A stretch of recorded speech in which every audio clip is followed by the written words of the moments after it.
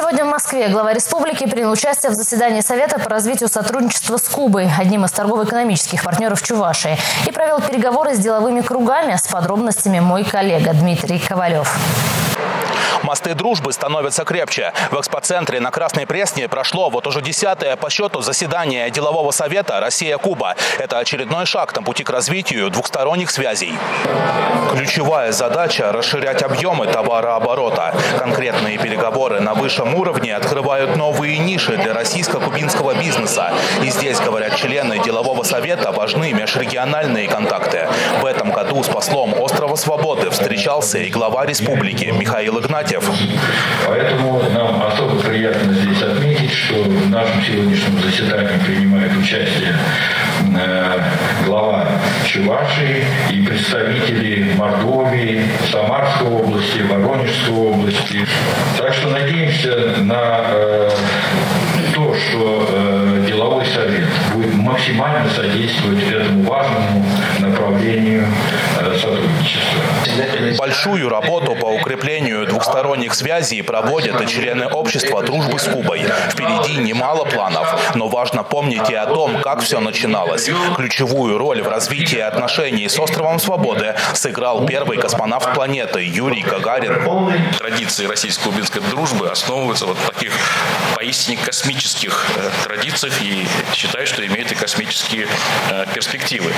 Действительно, в этом году 55 лет обществу советско-кубинской дружбы. РОДК является преемником этого общества. В эти э, дни по всей Российской Федерации, в 10 субъектах Российской Федерации проходит фестиваль, культурный фестиваль, посвященный 500-летию э, Гаваны. И одно из очень значимых мероприятий совсем недавно состоялось в Чебоксаре, в городе Чебоксары, который отмечал свое 550-летие. Это был праздник, совмещенный вот так вот с юбилеем, э, можно сказать, юбилейным событием российской кубинской, кубинской дружбы.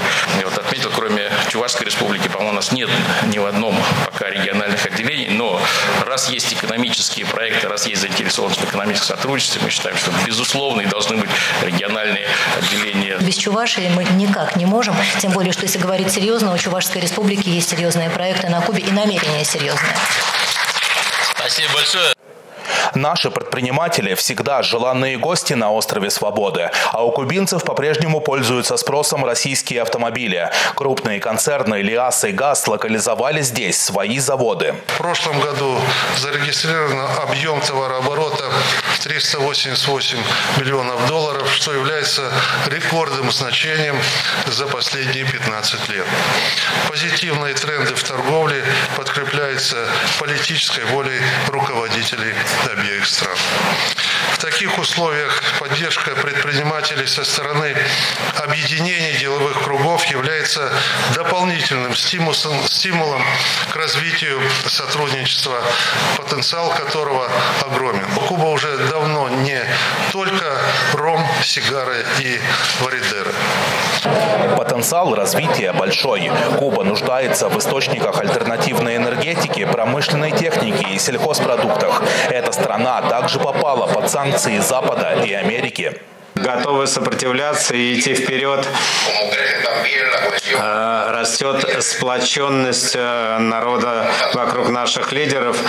И э, мы уверены, что никакие нападки агрессии не смогут заставить Кубу свернуть с намеченного пути.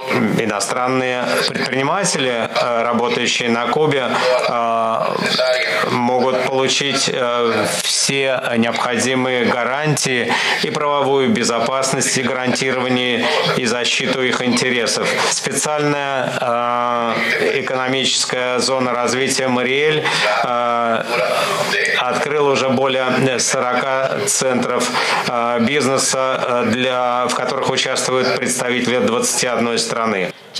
Чувашия продолжает расширять объемы экспорта. Глава республики отметил, что российско-кубинские связи должны строиться не только на экономике. Необходимо развивать и сферу туризма. Одним из направлений такого сотрудничества могло бы стать развитие медицинского туризма. В Чувашской республике работает целый ряд клиник, оказывающих высокотехнологичную медицинскую помощь. Хочу отметить, что дружба и сотрудничество в области медицины между Чувашией и Кубой имеют давнюю и добрую историю. Вот для сведения хочу сказать, еще в 1989 году нашим главным врачом МНТК микрохирургии глаза Николаем Паштаевым по поручению офтальмохирурга, академика Святослава Федорова на Кубе лично Фиделю Кастро была сдана в работу новая глазная клиника. Кроме этого, 47 лучших докторов под их руководством практически обучили офтальмологов кубинцев. Итогом Российско-Кубинского делового совета стало подписание рабочего плана на следующий год. В его рамках Чувашию планируют посетить предприниматели с острова Свободы. Дмитрий Ковалев и Андрей Спиридонов, Республика из Москвы.